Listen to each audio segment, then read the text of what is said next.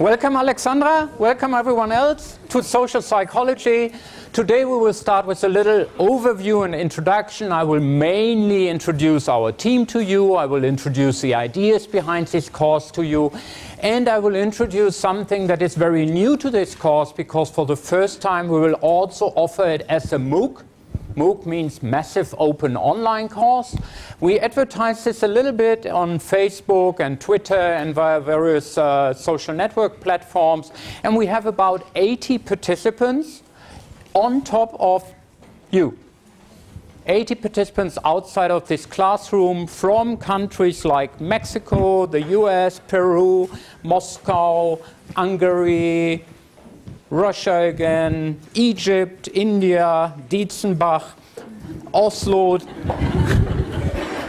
Tehran, Moscow again, uh, London, India, France, Austria, Switzerland, and so on and so forth. So we, we have a various a, a variety of people from various countries, and the idea behind this MOOC is that we interact with these people both the students on campus and the students in Dietzenbach or in Tehran uh, via some online tools such as online assessments and online forums.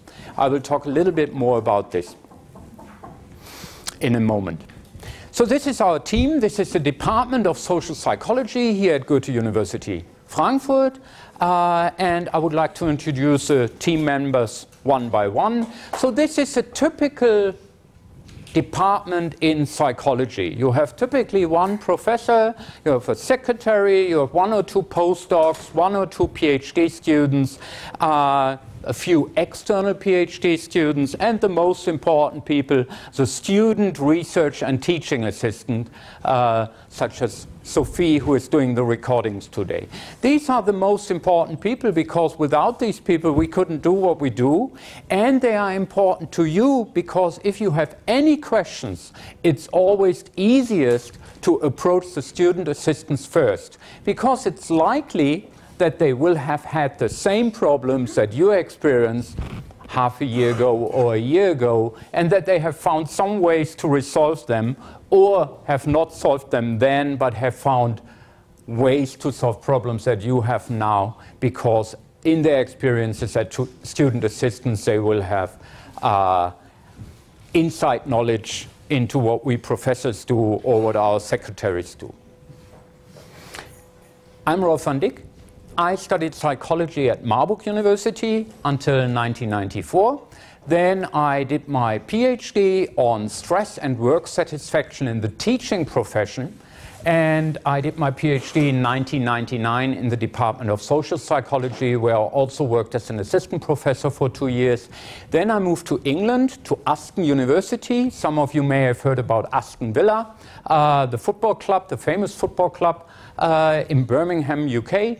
Uh, I worked there for three years, became a professor of social psychology and organizational behavior, and since 2006, I'm working as a chair of social psychology here at Frankfurt University.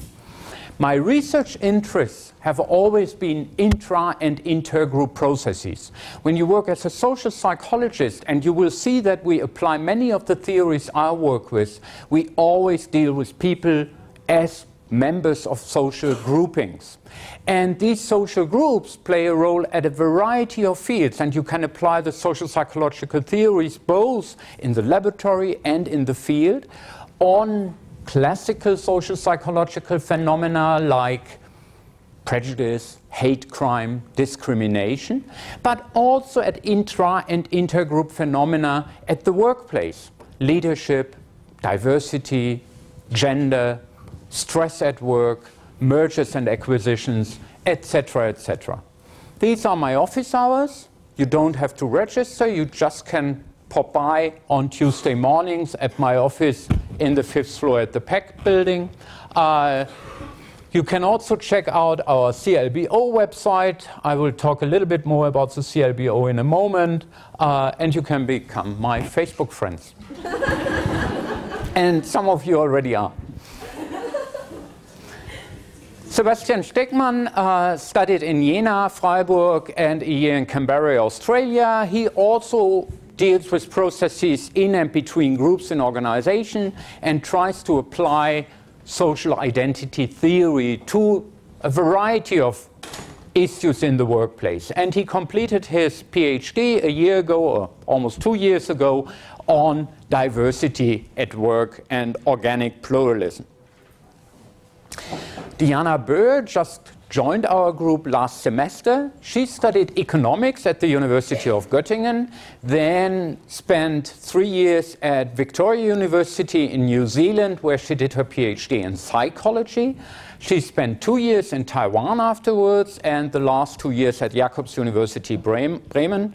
Her research interests are mainly in cross cultural psychology, so applying psychological theories cross culturally and comparing cultures with each other. And the content she's doing that is on management, leadership, positive psychology, and music psychology. Alina Hernandez Bark is currently about to finish to complete her PhD on gender equality in organizations, gender and leadership. Uh, she has just left for a research visit to the US where she will spend eight weeks working with Alice Eagly, which is the world leading scholar in the issue of uh, gender equality in organizations at Chicago University. Stefan Braun, some of you had, have, have had contact with Stefan because he is also the Fachbereichsreferent and Studienberater. He is doing his PhD in my group on implicit follower theories. These are implicit theories about what leaders think a good follower should be like. And when people deviate from this implicit stereotype, then we might evaluate these followers not as good as other followers who more fit our stereotypes, irrespective of the actual performance. Rita Friedrich is the manager of our general office and a helping hand, so you can always contact Rita when you have questions. Miriam Krüger is the managing director of the Center for Leadership and Behavior in Organizations. We established this center in 2011 with five colleagues. Dieter Zapf from psychology, Heather Hofmeister from the sociology department in the PEG building, and two colleagues from the economics department in the RWW building next opposite the campus uh, Michael Kosfeld and Guido Friebel. And with, center, with that center, we try to do good research across the disciplinary boundaries of economics, sociology, psychology, and we also try to bring researchers and practitioners together. Last week we had a big conference here in that lecture theater where we had invited a colleague from uh, Exeter to present on her research on gender in organizations. And we had about 100 people from both the university and practitioners from organizations uh, in Frankfurt with us discussing her ideas.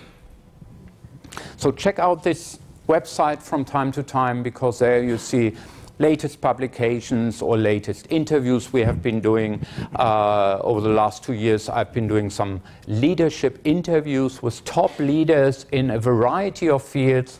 Uh, the Dalai Lama was here and visited us, and I had the opportunity to interview him. Uh, we've been to many people, such as Roman Herzog, former Germany president, and the last interview we did four weeks ago with Edzard Reuter, the former CEO of Daimler Chrysler. And these are very interesting interviews that we also video recorded and that are available for research.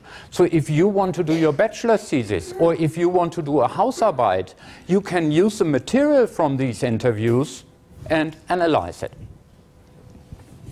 And then we have a couple of external PhD students, Frank Chensky, he has already submitted his PhD on organizational change, mergers and acquisitions, and he will finish in, uh, on the 30th of October. Annalisa Eiden works on the needs-based model of reconciliation. It's a relatively complicated title, but a simple idea. If you are a victim, then you want the perpetrator to communicate different things to you for reconciliate with him or her than when you are a perpetrator. And Anna and her colleagues, for example, do research on the Holocaust and Jews or Israeli citizens. And when you frame people living in Israel either as victims, victims from the Holocaust, and you ask him which messages do you like to hear from the Germans as perpetrators, it's different than when this research is being done with the Israel people as perpetrators and when you frame the Palestinian people as victims. Typically, the victims would like to reconcile by hearing that they are competent, whereas the perpetrators are more ready for reconciliation when they get the message from the victims that they are accepted and that they also are warm uh, or nice in some ways. And this research has been done by uh, colleagues from the US, like Jack Dovidio, and mainly colleagues from Israel, Nurit Shnabel and Arie Nadler, and Annalisa is working with these colleagues.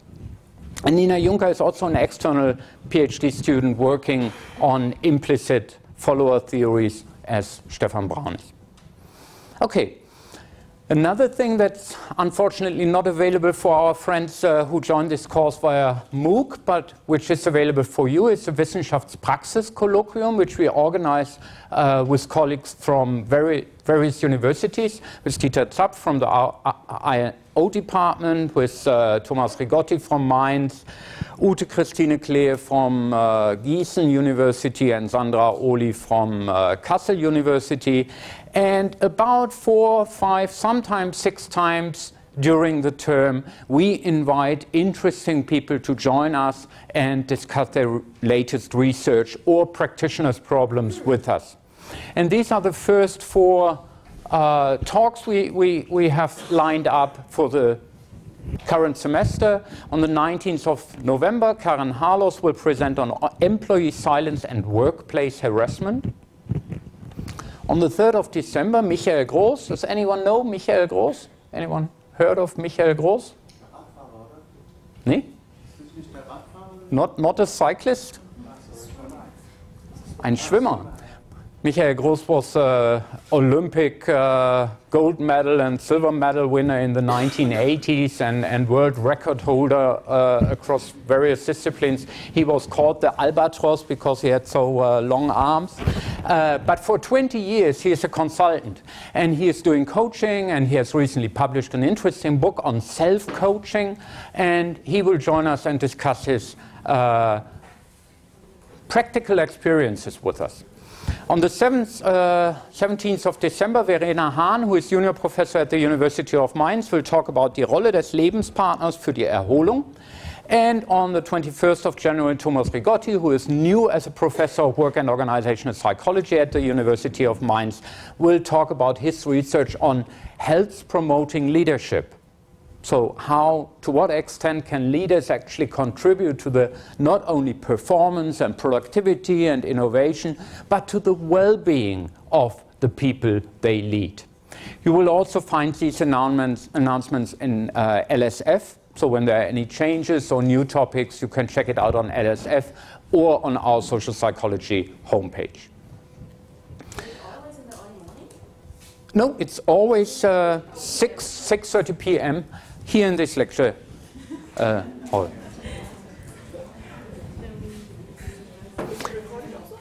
It will not be recorded, no. Those of you who are already in the third semester will know this. Uh, the library often offers courses for how to find the literature for your projects. Uh, and I can only strongly recommend doing these courses, attending these courses. It's important for Hausarbeit, it's important for bachelor theses. Uh, and these are the first three uh, dates of the current semester that I found. So please check out the library in the PEG building and register for these, uh, yeah, these courses. Okay, Hogg and Vaughan. Uh, this is a basic textbook for our course, for our module. Social Psychology was published in the sixth edition two years ago. I know that there will be a new edition in some time not too far away from now. But I cannot guarantee that it will be already published and ready uh, to be uh, ready to be sold before the, the exams. What I would suggest is probably not buy the book now, but study it in the library and wait a couple of weeks. Maybe the new edition is already out in December or early January. And if you are going to purchase a book, then I would always, not only in social psychology and in case of this textbook, I would always go for the latest edition. Once the 2013 or 14 seventh edition will be out, you will get this edition, of course, cheaper on Amazon or uh, uh, on, on Newsbooks uh, platforms. But this edition was published in 2011, which means that it was sent to the publisher, the manuscript was sent to the publisher probably a year or maybe even two years before that, which means that the authors have considered the literature up until 2007 or 8 or maybe 9. In the latest edition, you will have much more new stuff, new literature uh, considered, and therefore I would always suggest go for the latest edition. If you purchase books, you don't have to purchase any books because there will be enough available in the library for study, but if you are going to purchase books, don't waste your money on old books that are already outdated when they are published, but go for the ones that are as new as possible.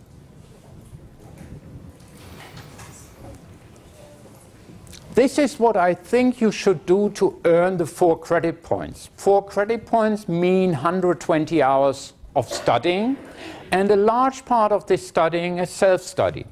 So I think typically you will sit about 30 hours here in the lecture theater together with me. But then you should prepare for the lectures. For example, from week to week, you should download the slides that we will make available online to you before the lectures and you should download them before the lecture and print them out so that you don't have to take notes all the time but that you have the slides in front of you. Maybe you also want to screen the slides a little bit before you go into the lecture theater so that you know what, is what you can expect, what is to come. And then I'm, I like to ask you to uh, start a portfolio and start this portfolio today. So every day after the lecture, try to answer some simple question. Answer the sample questions that we will provide. We will provide multiple choice answer uh, sample questions that look exactly like the multiple choice exam that will come at the end of this lecture. Answer these sample questions and then ask yourself, what did you learn today? What did you not understand? How can you apply the knowledge? And then every week I will start with probably a few answers on the sample questions and then you can comment on how did you apply the knowledge was there anything that remained unclear anything that you did not understand and then we can discuss it here in the classroom and if you do that every week if you do that from week to week and you read the chapter you screen the slides and you ask yourself, what did you learn today and what did you not understand? How could you apply the knowledge? Then I promise that you don't have to do hours, hundreds of hours of revision, but that a maximum of 30 hours should be more than enough to pass the exam and get a good grade.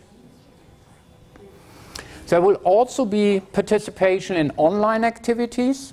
This, of course, is voluntary. I think it's a good idea to interact with the people around the world in that MOOC. And therefore, I'm asking you to register for the MOOC later on. But if you don't participate in the online activities, it's completely up to you. I will not penalize anyone who is not actively participating.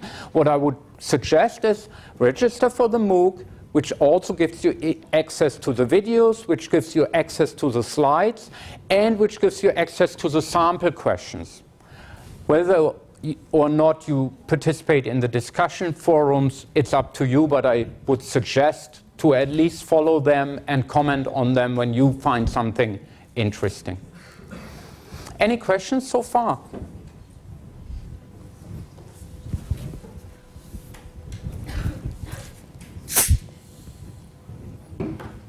Okay.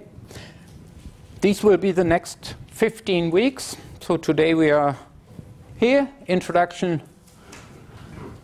Next week we will cover one of the most important traditional social psychological theories, which is attribution. It's a variety of three or four theories that we will cover and try to apply. Then we look at self and identity, attitudes, attitude change. These are the fundamentals, the basics of social psychology. Then we start thinking about how people interact with each other and try to influence each other. So we talk about social influence, people in groups, leadership, decision making, negative things such as prejudice and discrimination, intergroup behavior in general terms, and of course aggression, which is a classic topic studied by social psychologists. And we complete the cycle by hopefully some more positive topics, pro-social behavior, attraction, affiliation, and love. And then we will have a revision week where I will be available here in the classroom and would answer, answer your questions. And on the 12th of February, there will be the final exam. This exam will be a multiple choice only exam. It will be 50 questions. I think for every question there will be four answering opportunities or alternatives and only one of them is correct. And as I said, from week to week, we will have sample questions so that you know what you can expect, that you know about the typical difficulty of these questions, uh, and you will have the opportunity yeah, to practice and play around a little.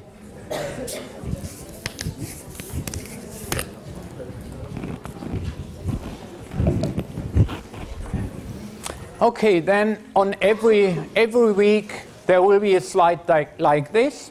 So I know that you are not native English speakers, except you. No. Not, not, not a native. But some of us are better, some of us are not as good in English as some are.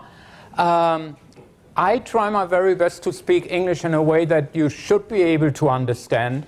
But I also know that there are some words that we simply yeah, have never heard of, and therefore I asked some student assistants a year ago or two years ago to select those items that might be a little bit unfamiliar, and we provide the translations. So when you print out the slides, you will have one or two slides like this, uh, giving you the most unfamiliar or untypical terms uh, and their translations.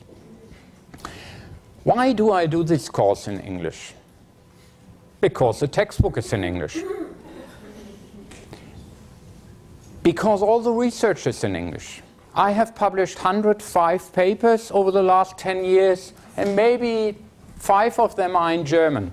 So I'm publishing in English, all my colleagues are publishing in English, and the good research is published in good journals in the US, in the UK, or in journals published in Germany but by an international staff of editors and associate editors. I'm editor of the Journal of Personnel Psychology, and I became editor when the publishers decided to make this journal an English-speaking only journal, because there was simply no demand for a German journal anymore. And I think that you should all be able to speak English or study in English, and you should be able to read the latest research in English anyway. So my hope is that having this lecture um, in English, the slides in English, and the textbook in English will give you the opportunity to learn everything firsthand and not by translated books that are outdated even before the English ones or long before the English ones. Okay? The exam, the exam will also be in English. Oh, yes, please.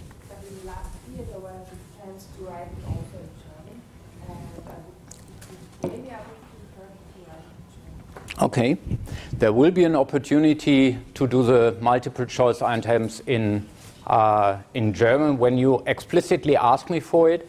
So last year, I think there were four or five people who did it in German. I don't think they were particularly happy in the end, having made this this choice. Not because it was any more difficult. I just had the same questions translated. But because it's so much easier to study the material in one language and to go back to the video material, to read the chapters, to study the slides again, and then it's so much more difficult to sit there and have it all in German. I think some of the students didn't find that particularly useful. Um, but of course, I, I will offer this. Okay, so the MOOC, Massive Open Online Course. We will have test questions to prepare for the exam. When you register for the MOOC, then every week there will be three to five sample questions that you can answer online. For every question, you have only one attempt. And I will get all the answers and present the answers or the proportion of correct and incorrect answers in the following week. And then we can see on which answers or on which questions you had most difficulties with. with. And we can discuss them here in the classroom. Then we have prepared some discussion forums. So every week we will stimulate the discussion of theories and their ability to explain our everyday life. So there will be open forums moderated by us with two or three questions every week that we would like you to comment on. I think this is the best you can do to retrieve the information and to keep the information by applying them.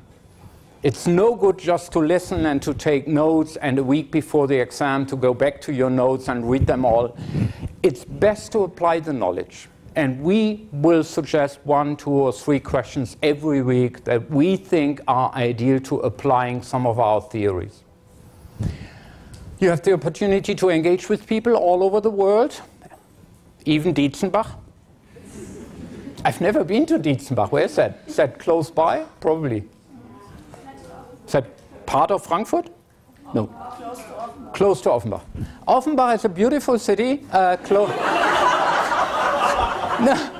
Really, it's, it's close to Frankfurt, and, uh, and I know from some people in Offenbach that you can live there, that it has a vibrant nightlife. Uh, it's cheaper than Frankfurt. The Hochschule für Gestaltung, for example, has some student, uh, student houses uh, that are cheaper than in Frankfurt, that come with internet access and everything. So uh, maybe those of you who don't have a, a flat yet or, or room, uh, think about Offenbach. So, and be part of this project and help us with your feedback to improve this course. It's an experiment. I've never done a MOOC, but we thought that when you video record, videotape the lectures anyway, why not making it available to more than just a few students who think that they better not come to the classroom? I fully understand that not that some students, some uh, some people think, oh, why should I go to Frankfurt on a Wednesday morning? It's my only lecture or my only thing that I have to do, and I have to travel. I have small kids. I have whatever. I have to work, and I better look at the videos later on and then go to the exam. I fully understand this. This is part of the reason why we do the video recording. But this time we thought when we do the video recording anyway, then let's make a little bit more out of it and let's make it available also to people who are not students of psychology at Goethe University. But it's an experiment. We don't know yet whether it works. We don't know yet how many of the 80 people who have registered uh, will remain in this course and participate in the final exam. We will see. Yes, please. How long will it take before it's available on the internet? It might take two days. So we make it available as soon as possible, but this afternoon uh, Sophie will have to upload it on the uh, Studium Digitale platform, and then we have to prepare it for uh, the online access, and then we have to upload it again. But about two days. Okay, as a student of Goethe University, uh, you can register for this course clicking on this link. And you don't have to take notes. As I explained earlier, you can find it on our website under teaching materials using the password. There you'll also find the video of the lecture and the slides. And the slides we try to upload Mondays or Tuesday the latest so that you can download them before the lecture. If you are not a student of Goethe University, maybe some of you are not yet students of Goethe University, send us an email, socialpsychology.frankfurtgmail.com, and we will provide further instructions. Okay, applying theories is one thing. Um, keeping your eyes open in your daily lives is another thing.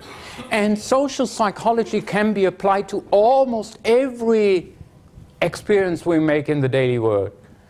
We talk about groups, we talk about how others try to influence us, we talk about our attitudes, and these are everyday phenomena. So, being a good social psychologist, having good social psychological knowledge of our theories, will help you to be a better person and to manage your everyday life in a slightly better fashion. Keep your eyes open when you read the book that's next to your bed. Maybe you're just reading Gulliver's Travels. It's a book about social psychology. It's a book about groups of people small people, tall people, little entlings, and big entlings. Who has read Gulliver's Travels? Do, does it tell you something? Little endlings and big endlings, I think. It's two groups of people who fiercely fight over where should you cut your morning egg on the on the sharper edge or on the big ending or edge. It's about groups of people who fiercely fight about nothing. But look into our everyday world, and we do see phenomena like this, sadly enough. Uh, the Beach by Alex Garland, which was also a video or a movie with, um, with um, Leonardo DiCaprio, I think, but the movie was not as good as the book. Uh, it's a little bit like Lord of the Flies, uh, 12 Angry Men, the famous movie uh, with Henry Fonda, where one uh, jury member tries to convince all the others and eventually is successful. It's a wonderful story, it's a wonderful example of social influence and how minority members can influence the majority and not that it works the other way around all the time. Uh, Cry the Beloved Country is, is a good very interesting book about the apartheid system in, in South Africa. Uh, classics like Pride and Prejudice, it's all in the, in the title already. Uh, John Grisham, I think he, I, I already bought the latest book by John Grisham, The Racketeer. I don't know the German title, I haven't read it yet, but I'm sure it will be all about social psychology from the first page to the very last. And as a good social psychologist, I can only learn from reading these books. I will also give you some clues, some tips, some hints for more of this at the end of this lecture. Okay, what is social psychology? And I already said it a couple of times. It's the scientific investigation of how our thoughts, feelings, and behaviors are influenced by the actual, imagined, or implied presence of others. We are social animals. Basic psychology is very useful, it's very important. How we think and act as humans is very important to study and to find out. Studying individual differences psychology is very important studying developmental psychology and how our capacity in our memory system develop over time, develops over time is very important. But at the end of the day, we are social animals. We are not isolated. And we are constantly influenced in our thoughts, feelings, and actions by our membership in social groups and what we think others would say would think, would either approve or disapprove of our behavior, etc. So I think social psychology is very important, and we will ask questions such as how and what do people think of one another? How and how much do people influence one another? Or what shapes the way we relate to one another? These are typical questions we will ask during the next 14 or 15 weeks. One thing that I would like to highlight is what Willem Doise has called the levels of explanation in social psychology. Often we are tempted to reductionist or reductionism. Uh, a reductionist approach, for example, would be to explain the behavior of a person. Say you would honk in your car. To explain this phenomena with lower level explanations, such as the hormones that are transmitted in my brain, my muscle act activity that makes me uh, honk in my car. Obviously, this is a reductionist approach, and the pure muscle activity and hormone transmitter system does not tell us anything about why might this person have used his or her honk in the car.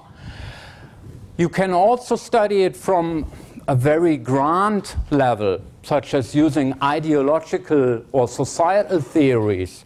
And you can think about governments trying to make people less honking or honk more often by changing governmental regulations, penalty systems, etc. And in social psychology, we often use the medium, the, the, the meso level of analyses. But what we should do is to consider as many levels as possible.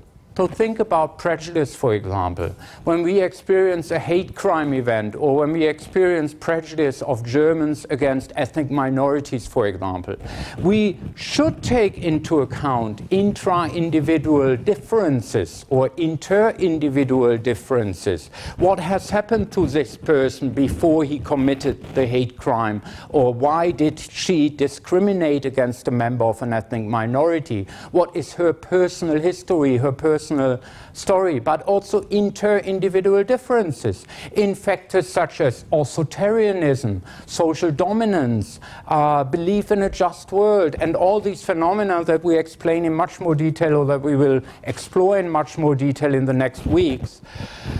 But this is not enough because this cannot tell us why the Holocaust erupted so quickly in Germany and why it was directed towards a specific group, the Jews, we have to take into account also the, so the positional level and the ideological level. And this is very important in social psychology. I think we should try to combine these levels to come to a more complex, more fuller understanding of why people hate each other, why people fight each other or love each other. And therefore, social psychology is also heavily influenced by its bordering disciplines. There is a discipline called social cognition, which is heavily influenced by cognitive psychology, for example. Of course, many social psychological theories are based on individual psychological findings of differences between men and women or differences across culture. Cultural differences are also explained by anthropology, and social anthropology feeds into social psychology. Social psycho sociology is a neighboring discipline that is sometimes very close, sometimes quite apart from social psychology. Traditionally, there have been two social psychologies in Germany. One social psychology influenced by psychological research and a social psychology influenced by sociological research. Uh, a colleague of mine, Rolf Haubl, is a social psychology professor in the Department of Sociology, and he uses completely different literatures, he uses completely different theories than I am using because he is more oriented towards the macro level based on sociological theorizing. And some of our field is influenced by sociolinguistics and studies on language and communication. Okay? So this is social psychology in a nutshell. This is social, what social psychology is, which questions we typically study, and where we come from. And now you are all amateur practitioners already. Everyone is a psychologist and everyone is a social psychologist. And therefore, it often seems that we know everything already. Is it therefore trivial to study social psychological processes? Probably not. And therefore, I would like to do a little quiz with you, and I can only advise you to do the same when you talk about social psychological knowledge with your friends or family. Because they will often, when you report a research finding to them, maybe a finding that you've heard of in the lecture, that you've read in the book, or in a recent paper, maybe a finding that you uncovered yourself in your bachelor's or master's or whatever project. Typically, when we tell someone else what we have found, this someone else will tell you, yes, I would have known that before. It's trivial. Everyone knows that. So what you can do is do a little quiz and probably frame the question a little bit provocatively and then ask the other person what he or she thinks. And in 50% of the cases, this other person may have guessed wrongly, and then you are in a much stronger position to defend your research. okay, first question.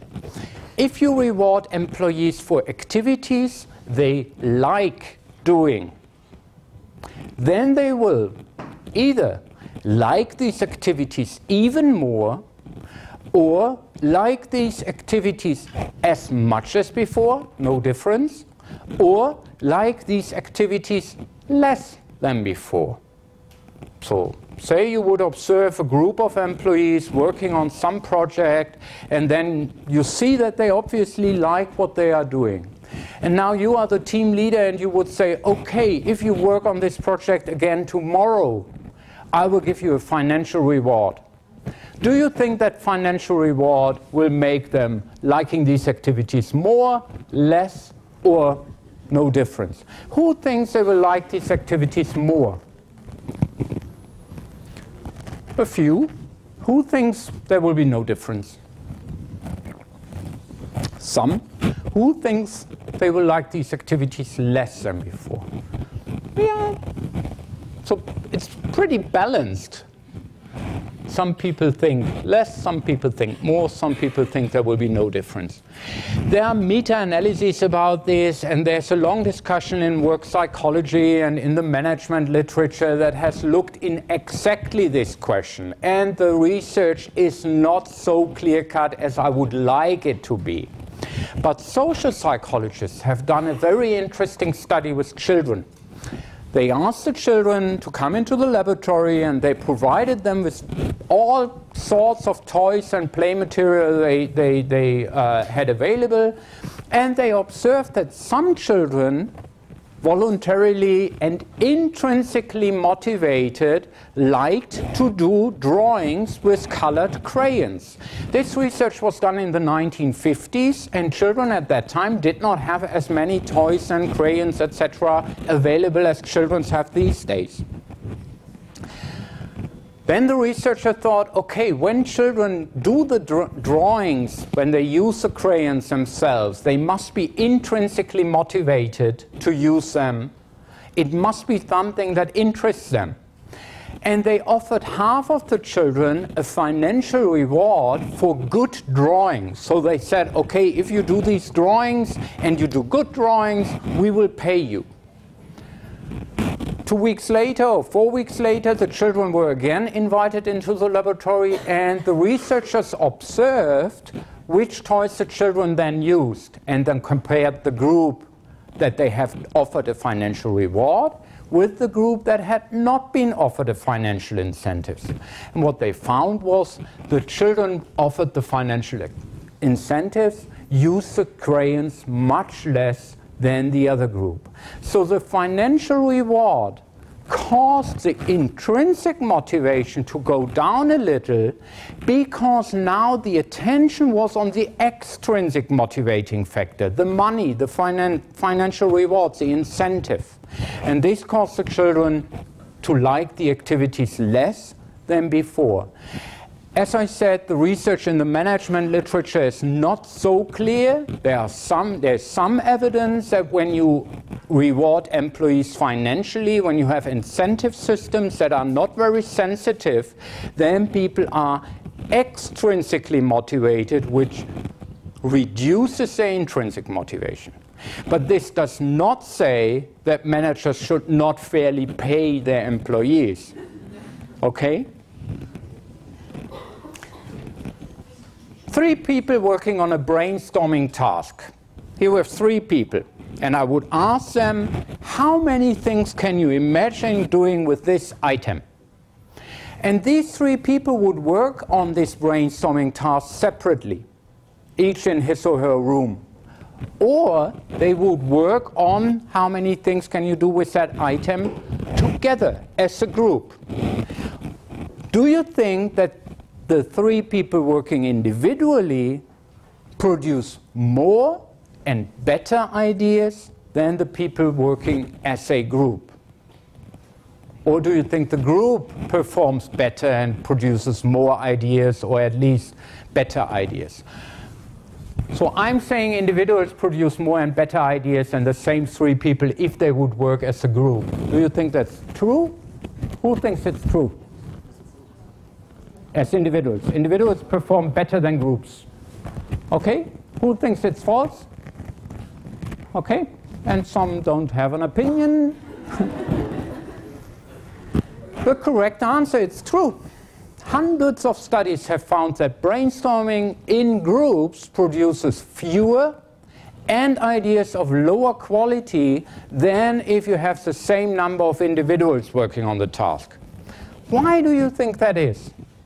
Why do you think that groups sometimes or often or mostly produce less than individuals? Yes, please.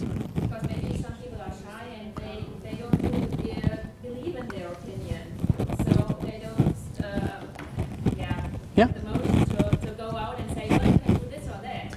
And they just adapt uh, to the main. Thank you very much. So some people are just shy, and when you put them in groups, they will don't offer their frank opinion or so. Yes, please. Probably they don't spend enough effort because they see the other ones working. Mm -hmm. Thank you. Yes, please. Uh, often in brainstorming tasks, there will be a phenomenon where people think that their idea is too close to another person's idea and therefore mm -hmm. not differentiated enough to uh, even mention. Yeah, thank you very much. Sometimes people think, well, I, I have an idea that might be interesting, but the other person just said something that is very similar, so I, I don't say because it would be ridiculous. Yeah? On the other side, there are a lot of group effects which um, improves their uh, quality and the number of their um, yeah of the solutions because the people have the possibility to um, yeah to think okay he said uh, uh, one thing and um, um, They can So- stimulate each other. yes Yeah. okay. Okay, I, I think all what you said is correct. Uh, what has been found is one large negative effect of brainstorming in groups is what we call the frame of reference or channeling. Say, she would start as the first person and say something very simple. You can drink out of it. The others might think then, ah, okay, if that's the level, then I don't have to work hard to come up with great ideas out of the box. Or she might think of a very, very unusual use of this bottle, but she says, ah, I better not say this because if they all keep it so simple, then I probably better think of the simple ideas too. Now think the opposite. She comes up with her wonderful out of the box idea. And then she might think, ah, but now I cannot say anymore that you can drink of it. It's too easy. This is what you often find. So people do influence each other, but often in a negative way. Often they channel each other into thinking along very unusual or very typical things, and the other alternatives are not discussed anymore just one effect. We will talk about brainstorming in session five or six when we talk about people in groups, and we particularly focus on uh, uh, performance in groups, productivity in groups. For the moment, the best advice I can give if you are a team leader, if you are a group leader, if you have to think about solving a difficult problem, the best thing you can do is ask everyone to brainstorm individually, him or herself, and take some notes and then have the people exchange the notes that they've taken because then they can interact without having these negative effects in the first place. the question you've all been waiting for. Men think about sex more often than women. I didn't expect any underage students today.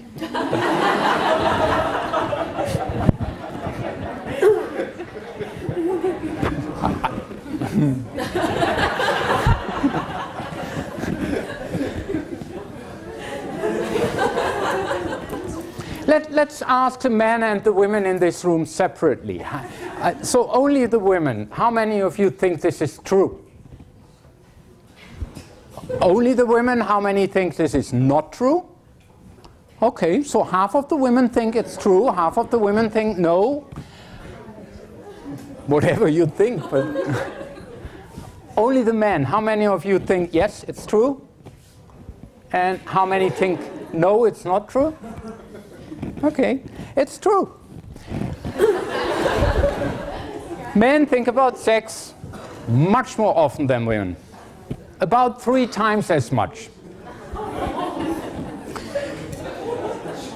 How do I know? I mean,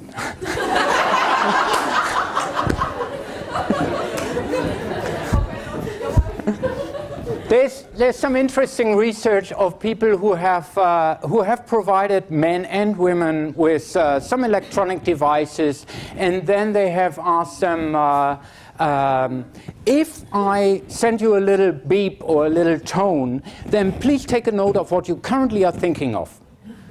And they did this over a couple of weeks, and people got these beeps four, five, six times a day. And the researchers then analyzed what the people were thinking of. And what they found was yes, men do think about sex more often than women. But they also found that men think about food more often than women, men think about drink more often than women, and men think about sleep more often they, than women. So, what these researchers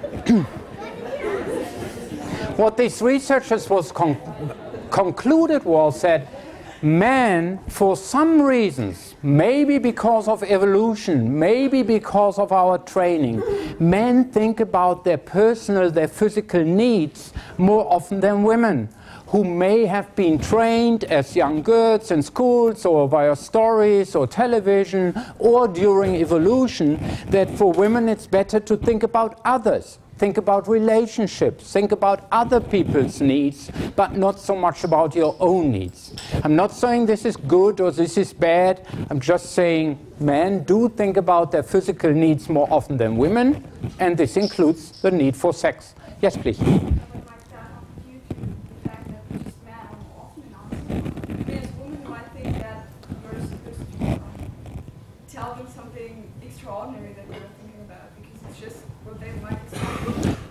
Yeah, I, I'm not sure. I, I didn't do the research myself. We will talk about this in week 14, I think, and I will tell you a little bit more about this research and other research on, on sex stereotypes or stereotypes about our sexuality.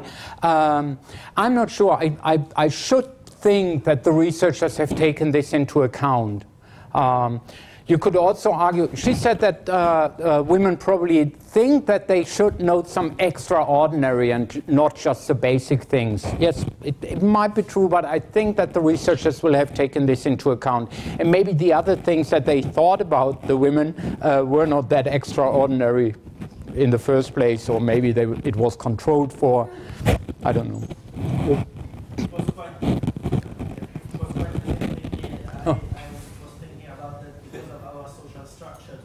Mm-hmm. men would be more willing to admit that they were thinking about sex than women. Yeah, that, that's true. Uh, but, but why are men more likely to admit that they think that they are thirsty, that they think about drinks? I, I think women should be able to admit this as well without feeling, oh, that's inappropriate or would be penalized or people would look at me if I say I think about drink now. So, I, yeah. Yes, please. Others. Relationships. Uh, he was uh, the su suggestion about shoes. I, I'm not sure. I, I will re read the study again before I will talk about it in week 14 again, and then we will uncover more of our stereotypes about sexuality.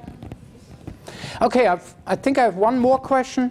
People pull harder in a tug of war. Tug of war is Tauziehen, uh, when part of a team than when pulling by themselves.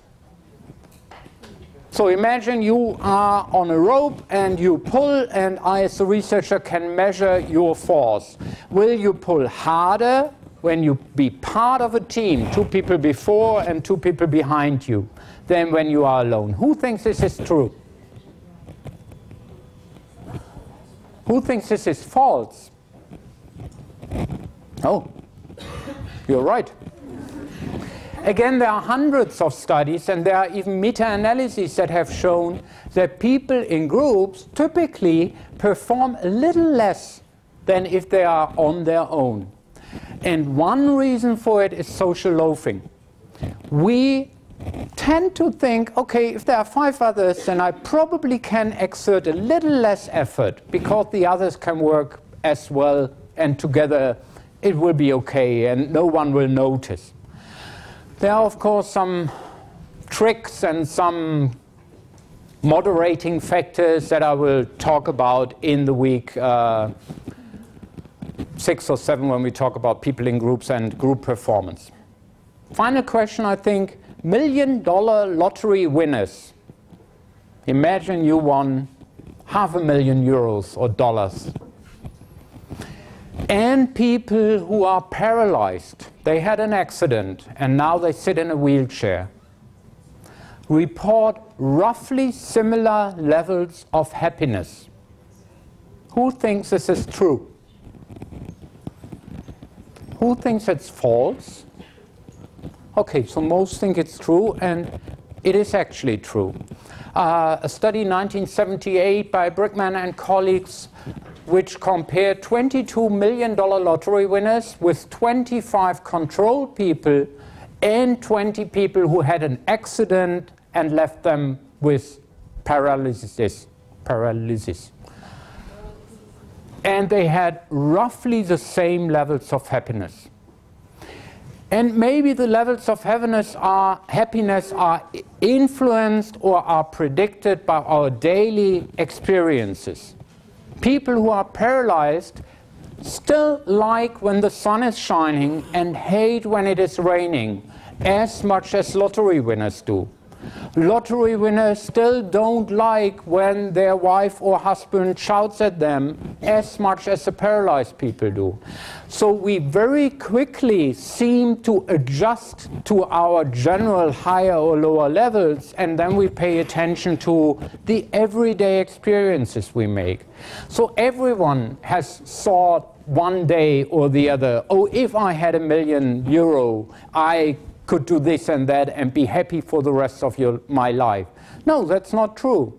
And all of you who have a friend or someone in the wider circle of family and acquaintances who have had a terrible injury or paralysis, you know that these people can be very happy people despite an accident that we normally think would leave us quite unhappy for quite a long time. Yes, please. No, I don't think so. No. Yes, please. I mean, that would actually just simply be a question of when you ask. I mean, how long does it take? It, it was a year afterwards, year? One, one year after the event. Mm-hmm. Okay, last question. Most participants in an experiment so think you are an experiment, I'm the experimenter, you come through the door, I put you here, and I will ask you, there's another participant next door, and we do a little experiment like you know from basic psychology, so he should learn some words by heart, and then you will test him, and uh, it's good for him and for the research if we find out or whether electric shocks would actually help him keeping these words better in his or her memory. And every time he makes a mistake, you give him a little electric shock. It's not fatal, but it, it, it's also not nice. And here's a machine, and it goes from 10 volts to 400 volts. Do you think that most participants would shock the other participant up to levels of 400 volts? Or do you think most participants will not comply and stop shocking after a few trials? How many of you think this is true? Okay. Probably you do know already that Stanley Milgram in 1961 has started doing a series of experiments because he also wanted to uncover the reasons behind the Holocaust. He wanted to know why are people so so terrible? Why can people do these terrible things to each other just because someone tells them to do that? And he studied obedience in the laboratory, and we will discuss this, I think, in week four or five when we talk about social influence in much more detail. For the time being, you can watch the little video. I will also show you the video in the lecture theater. So particularly the last question, all, almost all of you were correct. So I could ask you now, did you know it all along? Did you already knew what was the right thing? In Milgram's case, yes, that seemed to be true, and maybe it was true because you are psychologists and you have heard about Milgram, or you have read about Milgram, or maybe some colleagues of mine have mentioned Milgram in their lectures. But the same happens to other people everyone who gets the truth unveiled or revealed thinks they knew it all along. So it seems trivial. And the philosopher Kierkegaard has called this life is lived forwards but understood backwards. And psychologists call this the hindsight bias. Events in the past appear simple, comprehensible, and predictable in comparison to events in the future. And the hindsight bias is a tendency for people with outcome knowledge to believe falsely that they would have predicted the reported outcome of an event. After learning of the occurrence of an event, people tend to exaggerate the extent to which they had foreseen the likelihood of its occurrence. So we are amateur practitioners. We are amateur social psychologists and social thinkers. And most of the time, we try to make sense of the world around us. And next week, when we talk about attribution theories, we will see some theories how we do that and which biases we do. But because of these biases, it's not good enough to do it on an amateur way, but to do it properly scientifically. And these are the four core values of science. So we try to do whatever we can most accurately. We try to keep our objectivity so that things we do in our laboratory could be found in a laboratory on the other end of the world if they do it the same way than we do we need to keep our natural skepticism and be open-minded. So when we do experiments, we do not need to confirm every hypothesis, but we, would, we should rather be open to new and unexpected findings, because these will move our fields forward. And this is typically how we social psychologists use the scientific model. We start with hunches based on background knowledge or personal experiences or previous prior research. And this leads us to formulate theories. And theories are relatively broad sets of principles that should guide our behavior. And from these theories, we can derive hypotheses, specific predictions about behavior in specific situations. And we can translate these hypotheses into empirical research. And we can test these predictions empirically. And then either our predictions are confirmed or they are not confirmed, which often happens in expras. In expras, unfortunately, we had so wonderful ideas, didn't we? but our predictions were not really confirmed. And then we can either say, okay, confirmed, our confidence in the theory is increased. It does not mean the theory is true. It does not mean I've proven the theory. But it does mean, yes, now I have more confidence and I run the next experiments and I may adjust the theory a little bit or our confidence in the theory is reduced, and when I do 10 expras and I get no findings, then I can reject my theory. And when I sometimes get positive results, sometimes results that are only true under specific circumstances, then I can modify my theory and then test it again. Okay? This is what we typically do as social psychologists, and we use both experimental and non-experimental methods for doing this. So some social psychologists never leave the laboratory and always design experimental studies and never engage with the real people, with the field. Other people stay most of their time in the field, do surveys, observe people in their natural environments, and do not experimental studies all too often. And some people combine these approaches and do both. Ideally in Frankfurt we try to do both and particularly during the ExPRA we do lab experiments but sometimes we also use ExPRAs to do field research and ideally you would combine them and if you get the same responses our confidence in our theory is increased or does increase even more. Okay, and now a little bit, a few words before we close about research in social psychology, which is not very different from research in other fields of psychology. So you may have heard about most of these terms in statistics or in general psychology already. Systematic observation is when we systematically observe and record behavior. So we can do that naturally when we want to explore whether drivers honk more on hot days, we can go out into the streets and just take a record of do people honk and how often and what the temperature, and then we can relate them to each other. Or we could do surveys. Are you in favor of the death penalty? It's a typical item of an authoritarianism questionnaire, and we know that people who agree to that item are more authoritarian than others. And we also know that these people are typically more prejudiced against outgroup members, like ethnic minority members.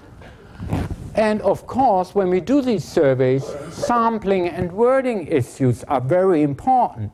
And also cultural differences. Maybe people in the US think differently when they hear the word death penalty about the question than people in countries where there is no death penalty anymore. Okay? But we can do these observations, we can do surveys. And this correlational research asks whether two or more factors are associated or not. And you know it all from basic statistics. We call that a correlation. And a correlation can go from minus 1 to plus 1. The closer it is to minus 1 or plus 1, the closer we say are variable x and variable y intertwined or related to each other. The closer the correlation gets to 0, the more we know that the two variables x and y have nothing to do with each other. So probably the correlation between people wearing glasses and the people in the next lecture hall wearing red-colored uh, dresses, it's zero. There's no correlation. There will be no correlation. The correlation between uh, taking Viagra pills and increased male sexual functioning is 0.38. So that's a pretty good correlation. The two things are related the correlation of how confident an eyewitness is and her accuracy is 0.03. So there is no correlation. When people think they're very confident, they are no better than people who think, hmm, I really don't know. The correlation of how important school performance is to a student and his self-esteem on days when he fails an exam is minus 0.42. So the more important school performance is, the lower his or her self-esteem will be when they fail. Pretty strong correlation. In social psychology, we are typically happy when we find correlations of medium size, 0.3 to 0.5. This is already a strong and in most of the cases meaningful correlation. In survey research, we often get highly significant correlations because we survey 1,000 people or 10,000 people. And we are also happy to find significant effects, but here we have to discuss more intensely. Is the relationship we find meaningful? Does it make a difference in the real lives of people? The problem with correlation is um, or let's first talk about statistics or, and significance. A correlation of, say, 0.2 can be significant or not depending on sample size. And typically we say that when the results occur in fewer than 5 out of 100 tests or 1 out of 20 tests, then it occurs by chance. There's no significance. Typically we have that significance level of 5% which means that we do, when we do find a correlation that is significant, we mean that there's a higher chance to find this result than 1 in 20 or 20 in, uh, or 5 in 100. The problem with correlations is we don't know whether correlation means causation. When you find a correlation between social status of people and their health, it can be that people with higher social status pay more attention, have a healthier nutrition, can afford more healthy food because it's more expensive, and therefore they are more healthy. But it may just be the other way around. Healthier people may get better jobs, and better jobs makes more money, and more money makes more status. Or it can be that the two variables are both influenced by a third variable that underlies this relationship, such as living in rich and poor countries. Living in richer countries means, on average, more status to everyone and probably better health because the government can provide better health systems compared to countries in which people on average are poorer, because that means on average lower status and leather, lower health provision. But the two variables are not related. Okay? Mm, I, we have a little bit of time, so why don't you discuss these two questions? Let's say this part of the lecture theater discusses the first question, Pepsi consumption in any given month is positively correlated with street violence. This is a correlation that actually has been found. So please discuss this correlation. And the other half of the lecture theater, please discuss the second question. The hours that people spend watching violent television is positively correlated with violent behavior on the playground. Children who watch more television are more violent at the playground. Discuss this just for two minutes, please.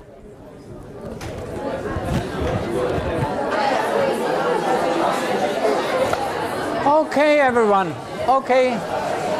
Can I please have your attention back again? Okay, I I thought the, the lively discussions, I'm sure you found uh, good arguments for why this correlation exists. You may have even thought about arguments for why this correlation actually reflects causation. But you definitely will also have discussed that these are spurious or illusory correlations due to third variable factors, or particularly at the second question or second statement, that it can go both ways. So violent children have more problems on the playground, therefore no one wants to play with them, and therefore they spend more hours in front of the television, is maybe just as likely as the opposite effect. There may be also third variables like social status of the parents or whether the parents work or don't work, etc., etc. We will talk about this uh, second statement a little bit in the session on aggression, when we also consider the effects of media and violent media content on people's aggression. And we will talk a little bit about the uh, first question then again when we talk about the so-called long hot summer explanation of aggression and violence, which might be a factor that influences both what people drink and how much they drink and whether they are violent or not. And the problem with correlations is that we simply don't know what is causing the effect. And therefore, we have to do experimental research. Experimental research mani manipulates one factor to see its effects on another factor. And when we know that the effect on the second factor is caused by our manipulation of the other variable, then we know the line of causation, which is the cause and which is the effect. And this is important to test our theoretical models, but also for practical reasons. If we know what is the cause, then we can also think about manipulating that cause in the real world when we want to reduce or want to increase a certain effect.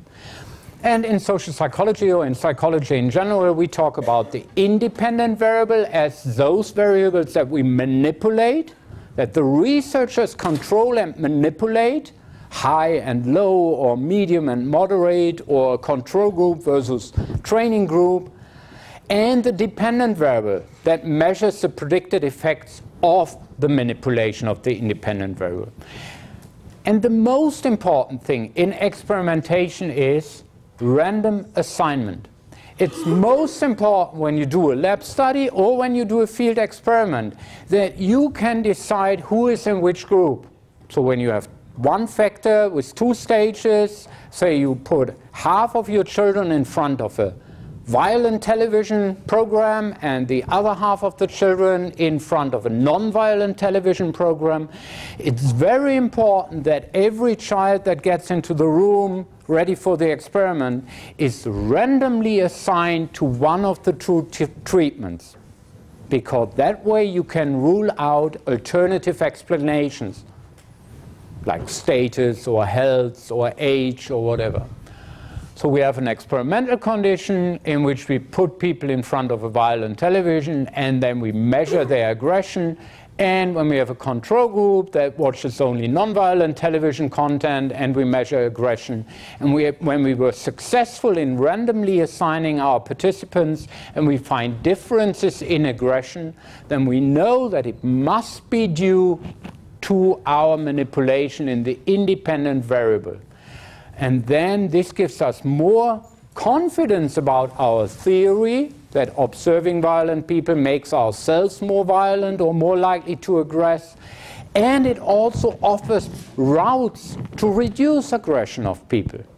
For example, by making governments, consulting governments to introduce rules that some television programs are not appropriate for children of certain ages.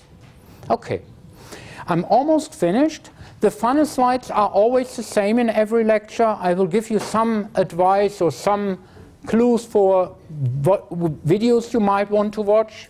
Most of these videos, most of these films are quite old, so you can purchase Das Experiment by Oliver Hirschbiegel for a few cents on Amazon as uh, used copies, or you can borrow them uh, from video libraries. Um, the Double Helix is a very interesting book written by James Watson, Watson one of the Nobel Prize winners for uh, the DNA. Uh, and it's a very interesting book about groups of researchers competing against each other, who finds the effect first, and maybe also on some which we call slightly unethical practices to win the big prize. Lord of the Flies, uh, William Golding's classic novel, for which he also won the Nobel Prize uh, in 1954.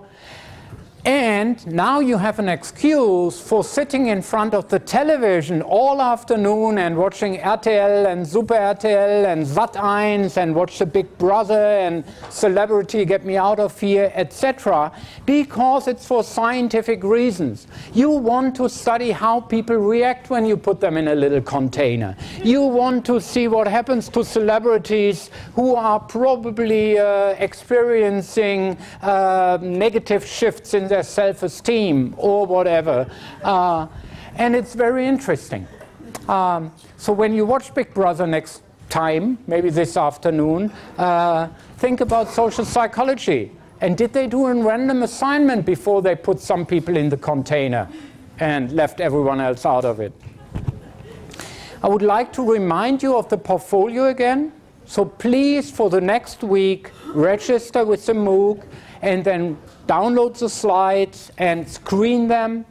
Read the chapter one in Hogg and Vaughan's textbook after this lecture and take some notes of what you learned today, what you did not understand, if there was anything, and try to apply it. Try to apply it to your own circumstances, to your own life. And I briefly introduce the three discussion topics that we would like to discuss with you online in the MOOC.